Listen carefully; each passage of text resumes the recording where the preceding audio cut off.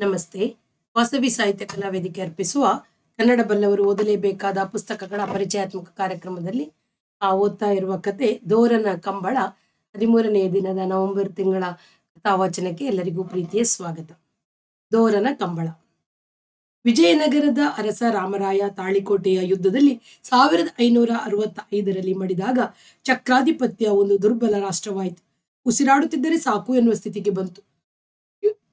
ಯುದ್ಧದಲ್ಲಿ ಗೆದ್ದ ಸುಲ್ತಾನರ ಸೇನೆಗಳು ನಗರದ ಮೇಲೆ ದಾಳಿ ಇಟ್ಟು ಬಂದಾಗ ನಗರವನ್ನು ರಕ್ಷಿಸುವ ಹೊಣೆಯನ್ನು ಹೊತ್ತ ಅರಮನೆಯ ಮಕ್ಕಳು ತಮ್ಮ ಹೊಣೆಯನ್ನು ಮರೆತು ನಗರವನ್ನು ದಾಳಿಕಾರರ ಕ್ರೌರ್ಯಕ್ಕೆ ಬಲಿಯಾಗಲು ಬಿಟ್ಟರು. ತಮ್ಮಿಂದಾಗುವಷ್ಟು ದನಕನಕ ವಸ್ತುಗಳನ್ನು ಹೇರುಗಳ ಮೇಲೆ ಒರೆಸಿಕೊಂಡು ಪೆನುಕೊಂಡೆಗೆ ಓಡಿದರು. ಅದುವರೆಗೆ ಉಪರಾಜಧಾನಿಯಾಗಿದ್ದ ಪೆನುಕೊಂಡೆ ಅಂದಿನಿಂದ ರಾಷ್ಟ್ರ ರಾಜಧಾನಿಯಾಯಿತು. ಆ ಬಳಿಕ ಕೆಲವು ವರ್ಷದಲ್ಲಿ ಮನೆತನದ ಮೂವರು ಸಹೋದರರಲ್ಲಿ ಹಿರಿಯ ಶ್ರೀರಂಗರಾಯ ಪೆನುಕೊಂಡೆಯಲ್ಲಿ ರಾಜ, ರಾಷ್ಟ್ರದ ಚಕ್ರವರ್ತಿಯಾಗಿ ಇರುತ್ತಾ ಒಬ್ಬ ತಮ್ಮ ರಾಮರಾಯ ಶ್ರೀರಂಗಪಟ್ಟಣದಲ್ಲಿ, ಹಿರಿಯ ತಮ್ಮ ವೆಂಕಟರಾಯ ಚಂದ್ರಗಿರಿಯರಲ್ಲಿ, ಚಂದ್ರಗಿರಿಯಲ್ಲಿ ಮಾಂಡಲಿಕ ರಾಜರಾಗಿ ನಿಂತರು. ಅಣ್ಣ ಸತ್ತು, ಅವನ ಮಕ್ಕಳು ರಾಮರಾಯನ ಮಧ್ಯೆ ಬೆರಸ ಬೆಳೆದು ಸಾವಿರದ ಆರುನೂರರ ವೇಳೆಗೆ ವೆಂಕಟರಾಯ ಒಬ್ಬನೇ ರಾಜನಾಗಿ ಉಳಿದನು. ಇವನಿಗೆ ಮಕ್ಕಳಿರಲಿಲ್ಲ. ಸಾವಿರದ ಆರ್ನೂರ ಹದಿನಾಲ್ಕರಲ್ಲಿ ಇವನು ತೀರಿಕೊಂಡಾಗ ರಾಮರಾಯನ ಒಬ್ಬ ಮಗ ರಾಜನಾದನು. ಕೆಲವು ವರ್ಷಗಳಲ್ಲಿ ಇವನು ಕ್ಷೇತ್ರ ಯಾತ್ರೆಗೆಂದು ಪ್ರವಾಸ ಕೈಗೊಂಡು ಸಾವಿರದ ಆರ್ನೂರ ಮೂವತ್ತೈದರ ವೇಳೆಗೆ ಇವನ ಮಗ ಶ್ರೀರಂಗ ದೊರೆಯಾಗಿ ಅವನ ಪರವಾಗಿ ಅವನ ತಾಯಿ ರಾಣಿ ಚಿನ್ನಾದೇವಿ ರಾಜ್ಯವನ್ನು ಆಳುತ್ತಿದ್ದಳು. ಚಂದ್ರಗಿರಿ ಪಟ್ಟಣ ಚಕ್ರವರ್ತಿ ಕೃಷ್ಣದೇವರಾಯ ಪೂಜಿಸಿ ವೈಷ್ಣವ ಭಕ್ತರಾದ ಪುರಂದರ ದಾಸ ಕನಕದಾಸರು ಹೊಗಳಿ ಹಾಡಿದ ತಿರುಪತಿ ಶ್ರೀನಿವಾಸನ ನೆಲ ನಿವಾಸ ಆದ ಶೇಷಗಿರಿಯ ತಪ್ಪಲಿನ ಒಂದು ನೆಲೆ. ಆ ಪ್ರದೇಶ ತೆಲುಗು ಜನರ ವಾಸದ ನೆಲೆ. ವಿಜಯನಗರದ ಹಿಂದಿನ ರಾಜವಂಶಗಳು ತುಳು ಕನ್ನಡ ಭಾಷೆಯದಾಗಿದ್ದು ರಾಮರಾಯನ ದಿನಕ್ಕೆ ಒಂದು ತೆಲುಗು ಮನೆತನ ಪ್ರಭುತ್ವಕ್ಕೆ ಬಂದಿತು. ಕೃಷ್ಣದೇವರಾಯನ ರಾಜಧಾನಿ ಹಂಪೆ, ಆಮೇಲೆ ರಾಜಧಾನಿಯಾದ ಪೆನುಕೊಂಡೆ, ಕನ್ನಡ ಭೂಮಿ. ಚಂದ್ರಗಿರಿಗೆ ಬಂದ ರಾಮರಾಯನ ಸಂತತಿಗೆ, ಸಂತತಿಯ ರಾಜನಿಗೆ ಆ ಅವನ ಪರಿವಾರಕ್ಕೆ ಸ್ವಂತ ಸ್ಥಳ, ನೆಲ ಎಂದು ಕಂಡಿತು ಮನೆ ದೇವರಾದ ಶ್ರೀನಿವಾಸನ ಸನ್ನಿಧಿ ಹತ್ತಿರದಲ್ಲೇ ಇರುವುದು ಸಹ ಭಾಗ್ಯ ಮನೆತನ ಹೊಸ ರಾಜಧಾನಿಯಲ್ಲಿ ಸಾಕಷ್ಟು ಕಾಲ ಸುಖವಾಗಿ ಬಾಳನ್ನು ನಡೆಸಿತು. ಮಾಂಡಲಿಕನ ನೆಲೆ ಅಷ್ಟೇ ಆದರೂ ಚಂದ್ರಗಿರಿಯ ಪ್ರಭು ದೊರೆಯಾದ ತಮ್ಮ, ದೊರೆಯ ತಮ್ಮ ಆದದ್ದರಿಂದ ಅವನ ಮನೆ ಒಂದು ಅರಮನೆ. ಅದಕ್ಕೆ ಮನೆಯ ಮೇಲಿನ ದೇವಾಲಯದಿಂದ ಪ್ರತಿದಿನವೂ ದೇವರ ಪ್ರಸಾದ ಬರುತ್ತಿತ್ತು. ದಿನ ದಿನವೂ ದೇವಾಲಯದ ಪ್ರಸಾದ ಬಂದ ಮೇಲೆಯೇ ದೊರೆಗೆ ಊಟ. ಪ್ರಸಾದ ಬರುವ ಈ ಏರ್ಪಾಟು ಮನೆತನದ ದೇವರ ವಿಶಿಷ್ಟ ಅನುಗ್ರಹದ ಚಿಹ್ನೆ ಎಂದೇ ಅರಮನೆ ಭಾವಿಸಿತು. ಆಲಯದಿಂದ ಪ್ರಸಾದ ತರಲು ಆಲಯದ ಬ್ರಾಹ್ಮಣ ಸೇವಕರಿಬ್ಬರು ನೇಮಕ ಪಡೆದಿದ್ದರು. ಜೊತೆಗೆ ಒಬ್ಬ ತರುಣ ನಾಯಕ, ಒಬ್ಬ ಪೇದೆ ಬರುವರು. ವೆಂಕಟರಾಯ ದೊರೆಯಾಗಿ ಬಂದ ದಿನ ದೇವಾಲಯದಿಂದ ಪ್ರಸಾದದೊಡನೆ ಬಂದ ನಾಯಕ ಒಬ್ಬ ಆಲಯದ ತರುಣ. ಅವನು ಪ್ರಸಾದವನ್ನು ತರುವ ಬ್ರಾಹ್ಮಣರೊಂದಿಗೆ ಕನ್ನಡದಲ್ಲಿ ಮಾತನಾಡಿದನು. ಚಂದ್ರಗಿರಿ ತೆಲುಗು ದೇಶ ಎಂದು ಕೇಳಿದ್ದ ಅರಮನೆಯ ಜನಕ್ಕೆ ಇಲ್ಲಿ ಒಬ್ಬ ಕನ್ನಡಿಗ ಇರುವುದು ಆಶ್ಚರ್ಯವೆನಿಸಿತು. ಕೆಲವು ದಿನದ ಮೇಲೆ ಪ್ರಭು ತರುಣನನ್ನು ಕನ್ನಡದಲ್ಲೇ ಮಾತನಾಡಿಸಿ, ನೀವು ಇದೇ ಪ್ರದೇಶದವರು ಎಂದು ಕೇಳಿದರು. ತರುಣ, ಅಲ್ಲ ಮಹಾಸ್ವಾಮಿ ನಮ್ಮ ಮುತ್ತಜ್ಜರ ಮುತ್ತಜ್ಜ ಒಬ್ಬರು ಮುಪ್ಪಿನಲ್ಲಿ ಇಲ್ಲಿಯ ದೇವರ ಸನ್ನಿಧಿಯಲ್ಲಿ ಇರೋಣ ಬಯಸಿ ಇಲ್ಲಿಗೆ ಬಂದರು. ಅವರ ಊರು ದೋರ ಸಮುದ್ರ ಅದು ಹೊಯ್ಸಳ ನಾಡು ಎಂದು ಕರೆಯುವ ಕನ್ನಡ ದೇಶದಲ್ಲಿದೆ. ಮಹಾಸ್ವಾಮಿ, ಬೇಲೂರು ಎಂಬ ಹೆಸರು ಇರುವ ಊರನ್ನು ಬಲ್ಲಿರೇನು? ದೋರ ದೋರ ಸಮುದ್ರ, ಅದರ ಹತ್ತಿರದ ಒಂದು ಊರು ಎಂದು ವಿಜ್ಞಾಪಿಸಿದನು. ಬೇಲೂರು ವಿಷ್ಣುವರ್ಧನ ಮಹಾಪ್ರಭುವಿನ ರಾಜಧಾನಿಯನ್ನು ನಾವು ಕೇಳಿದ್ದುಂಟು. ಆ ಪ್ರಭು ಚನ್ನಕೇಶವ ದೇವರ ಆಲಯ ಒಂದನ್ನು ನಿರ್ಮಿಸಿದನು. ಅದು ಈಗಲೂ ಭದ್ರವಾಗಿ ನಿಂತಿದೆ ಎಂದು ಕೇಳಿದ್ದೇವೆ. ಹೌದು ಮಹಾಸ್ವಾಮಿ, ಅವರ ಬಳಿಕ ದೊರೆಗಳಾದ ದೋರ ಎನ್ನುವ ಹೆಸರಿನ ಒಬ್ಬ ಪ್ರಭು ಅಲ್ಲಿನ ಹತ್ತಿರದ ಬೇರೆ ಊರನ್ನು ರಾಜಧಾನಿ ಮಾಡಿಕೊಂಡು ದೋರ ಸಮುದ್ರ ಎಂದು ಕರೆದು ಅಲ್ಲಿ ಶೈವ ಮಂದಿರವೊಂದನ್ನು ನಿರ್ಮಿಸಿದರು. ಅರಮನೆಯ ಬೇರೆ ಜನ ಜಲಧರ್ಮದವರಾಗಿದ್ದರು. ಹತ್ತಿರದಲ್ಲೇ ಒಬ್ಬ ಅರ್ಹಂತರ ಆಲಯವನ್ನು ನಿರ್ಮಿಸಿದರು. ಆ ಮೇಲಿನ ದಿನದಲ್ಲಿ ಮುಸಲ್ಮಾನ ದಾಳಿಕಾರ ಮಲ್ಲಿಕಾಫರ್ ಮಲ್ಲಿಕ್ ಕಾಫರ್ ಎನ್ನುವವನು ದೊಡ್ಡ ಸೇನೆಯೊಂದಿಗೆ ದೊರ ಸಮುದ್ರವನ್ನು ಹೊಕ್ಕು ಶೈಲ ಮಂದಿರದ ಹೊರಮುಖದ ಮೂರ್ತಿಗಳನ್ನೆಲ್ಲ ಒಡೆಸಿ ಕೆಡಿಸಿ ಹೊರಟು ಹೋದನು. ನಮ್ಮ ಹಿರಿಯರು ದೋರ ದೊರೆಗಳ ಜ್ಞಾತಿಗಳಂತೆ. ನೂರು ಇನ್ನೂರು ವರ್ಷಗಳ ಬಳಿಕ ಅವರಲ್ಲಿ ಒಬ್ಬರು ಇಲ್ಲಿಗೆ ಬಂದರು. ನಾನು ಅವರ ವಂಶದ ಒಬ್ಬ ಮಗ. ಅಜ್ಜ ಬಂದ ಮೇಲೆ ಮನೆಯ ಜನರು ಇಲ್ಲಿಗೆ ಬಂದರಂತೆ. ಆಮೇಲೆ ನೆಂಟ ಮನೆತನ ಇನ್ನು ಕೆಲವು ಬಂದವು. ಎಲ್ಲರಿಗೂ ದೇವರ ಸನ್ನಿಧಿಯಲ್ಲಿ ಯಾವುದೋ ಒಂದು ಕೆಲಸ. ಆಗಿನಿಂದ ಇಲ್ಲಿಯವರೆಗೆ ನಮ್ಮ ಮನೆಯ ಜನ ದೇವಾಲಯದ ಗ್ರಾಮದಲ್ಲಿ ಬಾಳಿದ್ದೇವೆ. ತುಂಬಾ ಸಂತೋಷ. ನಿಮ್ಮ ಹೆಸರೇನು? ದೋರ ಮಹಾಸ್ವಾಮಿ. ಮರ್ಯಾದೆಗೆ ಜನ ದೋರಣ್ಣ ಅನ್ನುತ್ತಾರೆ. ನ್ಯಾಯ ತಾನೆ. ನಮ್ಮ ಮನೆಯ ಭಾಷೆ ತೆಲುಗು ಆದರೂ ನಾನು ಕನ್ನಡವನ್ನು ಬಲ್ಲೆ. ಆ ಮಾತನಾಡುವವನನ್ನು ಕಂಡರೆ ನನಗೆ ಸಂತೋಷ ದೋರಣ್ಣ. ನಾನು ಧನ್ಯ ಮಹಾಸ್ವಾಮಿ. ಹೀಗೆ ದೋರ ಅಥವಾ ದೋರಣ್ಣ ಅರಮನೆಯ ಜನರಿಗೆ ಇಷ್ಟವಾದ ಒಬ್ಬ ಮನುಷ್ಯನಾದನು. ಪ್ರಭುವಿನ ಮನೆ ಮಾತು ತೆಲುಗು ಆದರೂ ವಿಜಯನಗರ ಪೆನುಕೊಂಡೆಯ ಸಂಬಂಧದಿಂದ ಅರಮನೆಯ ಬಂಧುಗಳಲ್ಲಿ ಪರಿವಾರದಲ್ಲಿ ಕನ್ನಡದವರು ತುಂಬಾ ಜನ ಇದ್ದರು. ಕೆಲವು ಜನ ಇದ್ದರು. ಕನ್ನಡಿಗ ಎಂಬ ಕಾರಣದಿಂದ ದೋರ ಅವರಿಗೆ ಮತ್ತಷ್ಟು ಇಷ್ಟನಾದನು. ಕೆಲವು ತಿಂಗಳು ಕಳೆದು ಅವರಲ್ಲಿ ಯಾರೋ ಒಬ್ಬರಿಗೆ, ಈ ದೋರಣ್ಣ ಬಹಳ ಒಳ್ಳೆ ಹುಡುಗ. ಇವನ್ನ ನಾವು ಅರಮನೆಯ ಕೆಲಸಕ್ಕೆ ನೇಮಿಸಿಕೊಳ್ಳೋಣ ಎಂದು ಸೂಚಿಸಿದರು. ಏನಡ್ಡಿ? ಕೇಳಿ ಅವನನ್ನು. ಒಪ್ಪಿದರೆ ನೇಮಿಸಿಕೊಳ್ಳೋಣ ಎಂದರು. ಅರಮನೆಯಲ್ಲಿ ಯಾವುದಾದರೂ ಕೆಲಸ ಕೊಡೋಣ ಅಂತ ಪ್ರಭುಗಳು ಯೋಚಿಸಿದ್ದಾರೆ. ನೀನು ಇಲ್ಲಿಗೆ ಬಂದಿಯಾ? ಎಂದು ಇವರು ದೋರಣನ್ನು ಕೇಳಿದರು. ದೋರ ಆಲಯದ ಹಿರಿಯರನ್ನು ಕಂಡು ಪ್ರಭುವಿನ ಅಪೇಕ್ಷೆಯನ್ನು ಅವರಿಗೆ ತಿಳಿಸಿದನು. ಅವಶ್ಯವಾಗಿ ಹೋಗಪ್ಪ. ದೇವರ ಭಕ್ತರ ಮನೆಗಳ, ದೇವರ ಭಕ್ತರ ಮನೆಗಳಲ್ಲಿ ಪ್ರಭುಗಳ ಮನೆ ಮೊದಲ ಮನೆ. ಭಕ್ತರ ಮನೆಯ ಸೇವೆ ದೇವರಿಗೆ ಆಲಯದ ಸೇವೆಯಷ್ಟೇ ಪ್ರಿಯ ಎಂದರು. ದೋರ ತನ್ನ ಮನೆಯ ಜನರನ್ನು, ನೆಂಟರನ್ನು ಕೇಳಿ ಅವರು ಒಪ್ಪಿದ ಮೇಲೆ ಮಲೆಯ ಮೇಲಿನ ಊರನ್ನು ಬಿಟ್ಟು ಚಂದ್ರಗಿರಿಗೆ ಬಂದನು. ಅರಮನೆಯ ಸೇವಕ ಜನದ ಒಂದು ಮನೆಯಲ್ಲಿ ನಿಂತನು.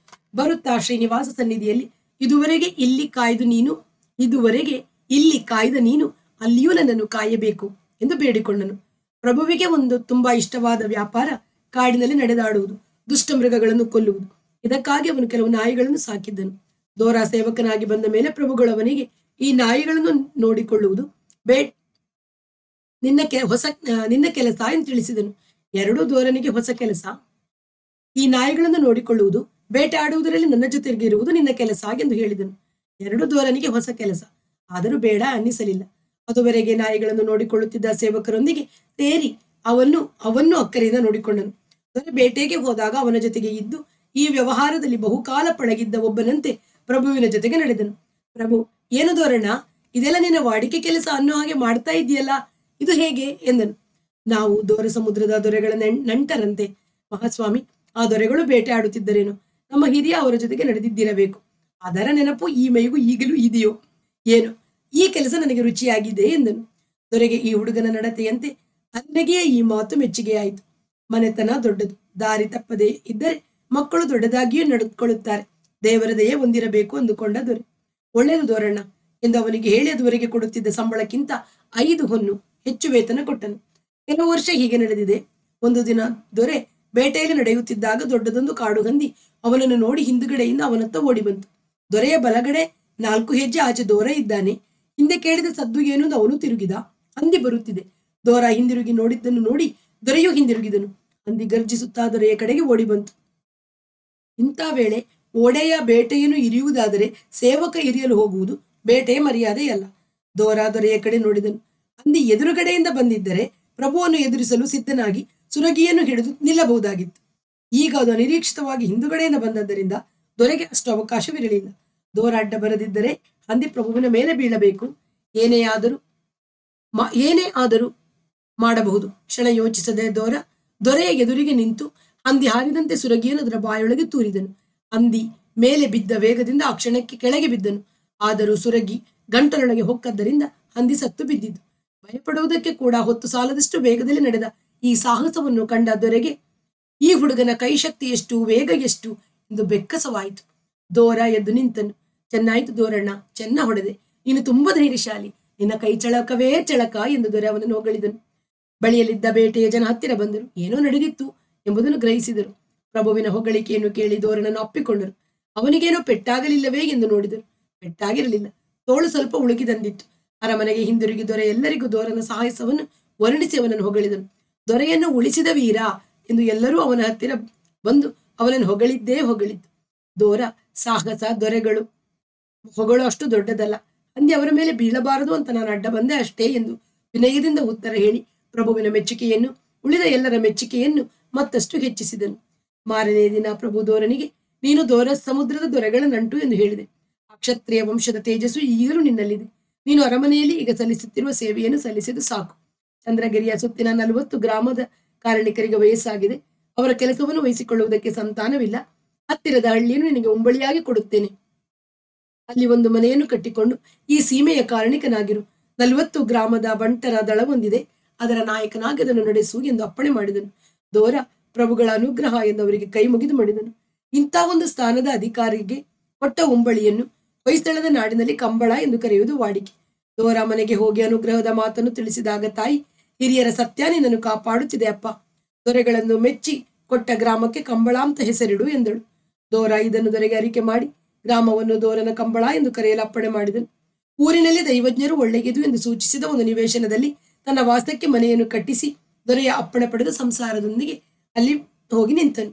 ದೋರ ಕಾರಣಿಕನಾಗಿ ತುಂಬಾ ದಕ್ಷಿಣಾಗಿ ನಡೆದುಕೊಂಡನು. ಮಂಡಲದ ಹೊರಗಿನಿಂದ ಯಾರಾಗಲಿ ಬಂದು ಕಂಬಳ ಗ್ರಾಮದ ಮೇಲೆ, ಮಂಡಲದ ಇತರ ಗ್ರಾಮಗಳ ಮೇಲೆ ದಾಳಿ ಮಾಡದಂತೆ ನೋಡಿಕೊಳ್ಳುವುದು ಅವನ ಮುಖ್ಯ ಕರ್ತವ್ಯ. ಗಡಿಯ ಗ್ರಾಮಗಳಲ್ಲಿ ಕಾವಲು ಬಂಟರು ಎಚ್ಚರದಿಂದ ನಡೆದುಕೊಳ್ಳುವಂತೆ ಚೆನ್ನಾಗಿ ನೋಡಿಕೊಂಡು ಕೆಲವು ವರ್ಷಗಳಲ್ಲಿ ದೋರ ಮಂಡಳದ ಹತ್ತು ಮಂದಿ ಕಾರಣಿಕರಲ್ಲಿ ಇವನೇ ದಕ್ಷ ಎಂಬ ಕೀರ್ತಿ ಕೀರ್ತಿಯನ್ನು ಗಳಿಸಿದ. ದೋರನಿಗೆ ಒಬ್ಬನೇ ಮಗ, ಅವನ ಹೆಸರು ದೋರ. ದೋರನ ದಿನ ಮುಗಿದ ಮೇಲೆ ಈ ಮಗ ಕಾರಣಿಕನಾದನು. ಬೆಳೆಯುವ ದಿನಗಳಲ್ಲಿ ತಂದೆಯ ಜೊತೆಗೆ ಅರಮನೆಗೆ ಹೋಗುತ್ತಾ ಬರುತ್ತಾ ರಾಜ್ಯದ ವ್ಯವಹಾರಗಳದ ಹತ್ತಾರು ವಿವರಗಳನ್ನು ಗಮನಿಸಿ ತಿಳಿದುಕೊಂಡಿದ್ದನು. ಪ್ರಾಯಕ್ಕೆ ಬಂದಾಗ ಇವನಿಗೆ ಮಂಡಲದ ಮಾತಿರಲಿ ಒಬ್ಬನಿಗೆ ಸಹಾಯಕನಾಗಿ ಇರಲು ನೇಮನ ದೊರೆಯಿತು. ಕಾರಣಿಕ ಸ್ಥಾನಕ್ಕಿಂತ ಇದು ಮೇಲಿನ ಸ್ಥಾನ. ಮಗ ದೋರ, ತಂದೆಯ ಅಧಿಕಾರವನ್ನು ವಹಿಸಿಕೊಂಡಿದ್ದು ಸಹಾಯಕ ಅಮಾತ್ಯನಾಗಿಯೂ ನಡೆದುಕೊಂಡನು. ಅವನಿಗೆ ಒಬ್ಬನೇ ಮಗ, ನಾಲ್ಕು ತಲೆಮಾರು ಹೀಗೆ ನಡೆದು ದೋರನ ಕಂಬಳದ ದೋರ, ದೊರೆಯ ಅಮಾತ್ಯರಲ್ಲಿ ಒಬ್ಬನಾದನು. ದೇವರ ಭಕ್ತನಾಗಿ ಬಾಳಲು ಮುತ್ತಜ್ಜನ ಮುತ್ತಜ್ಜ, ದೋರನ ಜೊತೆಯಲ್ಲಿ ಅವನ ಸಂಸಾರವೂ ಬಂದಿತ್ತಷ್ಟೇ. ಇಲ್ಲಿ ಇವರಿಗೆ ನೆಂಟು ಯಾರೂ ಇರಲಿಲ್ಲ. ಆದ್ದರಿಂದ ಇವರಲ್ಲಿ ವಯಸ್ಸಾದವರು ಇಲ್ಲಿ ಒಬ್ಬರು, ವಯಸ್ಸಾದವರು ಒಬ್ಬರು. ಎಂಟು ಹತ್ತು ವರ್ಷದಲ್ಲಿ ಒಮ್ಮೆ ದೋರ ಸಮುದ್ರಕ್ಕೆ ಹೋಗಿ ನೆಂಟರನ್ನು ಮಾತನಾಡಿಸಿಕೊಂಡು ಹತ್ತು ದಿನ ಹಿಂದೆ, ಇದ್ದು ಹಿಂದಿರುಗುವ ವಾಡಿಕೆಯನ್ನು ಮಾಡಿಕೊಂಡಿದ್ದರು. ಇಂಥ ವೇಳೆ ಇವರ ಬಂಧುಗಳಲ್ಲಿ ಒಬ್ಬಿಬ್ಬರು ಇವರೊಡನೆ ಬರುವುದೂ ಉಂಟು. ಬಂದವರಿಗೆ ದೇವಾಲಯದಲ್ಲಿ ಅಥವಾ ಚಂದ್ರಗಿರಿಯ ಮಂಡಲದ ಒಡೆಯರ ಪರಿವಾರದಲ್ಲಿ ಯಾವುದೋ ಒಂದು ಕೆಲಸ ಇದ್ದೇ ಇರುತ್ತದೆ.